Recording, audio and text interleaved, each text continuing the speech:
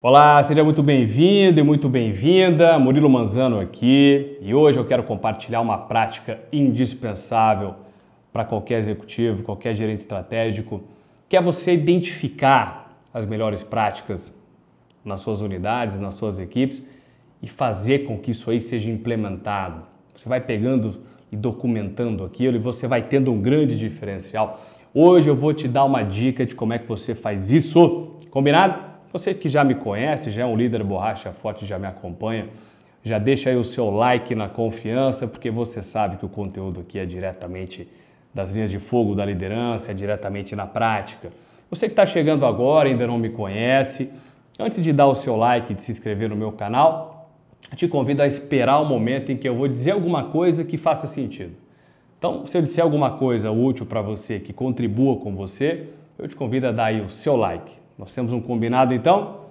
Então assim nós começamos o nosso vídeo de hoje. Uma das práticas mais importantes que um gestor pode ter é identificar aqueles profissionais que estão se destacando. Por exemplo, quando você é um, é um gestor que tem mais de uma unidade sob o seu comando, você percebe que algumas unidades naturalmente vão performar melhor do que as outras. Isso tem a ver com vários fatores. Você tem o mercado em si, você tem, você tem fatores tecnológicos, você tem estrutura disponível etc. Mas o mais importante não é você olhar para isso, o mais importante é olhar para os processos que, que vêm sendo bem feitos. Você vai olhar para os indicadores que acontecem ali. E quando você faz isso, você começa a identificar esses melhores profissionais, trazendo os melhores indicadores, você começa a entender o seguinte: se essas pessoas estão conseguindo fazer isso, outras pessoas da minha equipe também podem conseguir fazer isso.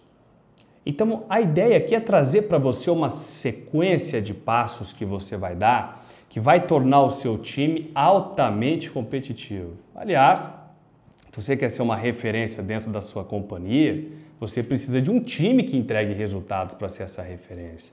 E uma parte importante da estrutura que você vai dar para que esses resultados que eu acabei de falar aconteçam é você criar agora um banco de melhorias e de boas práticas.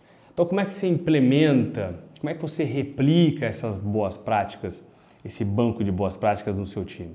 O primeiro passo é muito simples, o primeiro passo é identificar.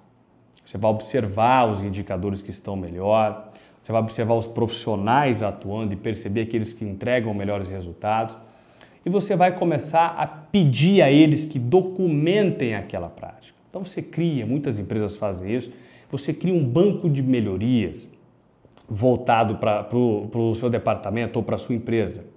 Aquele banco de melhorias, você tem o nome da pessoa que é idealizadora daquilo.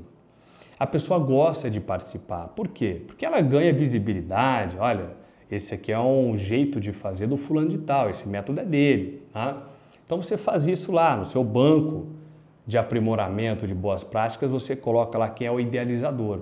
E aquela pessoa vai colocar a prática dela, como ela faz, por que ela faz, quando ela faz, com que frequência ela faz, etc, etc. Então ela deixou lá o procedimento anotado. E o terceiro passo é você compartilhar isso daí com as pessoas. Então você tem uma nova boa prática lá que está gerando bastante resultado, você vai reunir o seu time e vai apresentar aquela boa prática, dando os devidos créditos àquela pessoa que foi o idealizador. Com isso, você constrói na sua companhia um desejo por colaborar, um desejo por inovar, um desejo por gerar bons resultados, porque a pessoa sabe que ela vai ser reconhecida com aquilo. De vez em quando você pode até dar uma premiação para as melhores práticas, né, para as pessoas que compartilharam aquelas melhores práticas. Então você criou uma ferramenta de replicar bons resultados e você padronizou isso para o seu time. Isso faz uma grande diferença. Você não tem noção o quanto você se torna mais valorizado dentro da companhia quando você estrutura um programa desse no seu time. Isso aqui vale para todo mundo. Qualquer departamento, qualquer segmento que você tiver, é possível inserir ali um documento de boas práticas e você de vez em quando reúne as pessoas e replica aquelas melhores práticas. Bom, se você é um executivo, um líder, você quer ocupar uma posição de destaque no mercado, eu te convido a conhecer os meus programas de treinamento voltados para liderança e alta gestão. Te convido a clicar aqui no link abaixo na descrição, conhecer todos os programas disponíveis para você e para a sua equipe e falar aqui com os nossos atendentes super pontuais, te atendem em tempo real e vão encontrar certamente para você a melhor opção para o seu crescimento e para o crescimento do seu time. Combinado? Um forte abraço e nos falamos no próximo vídeo.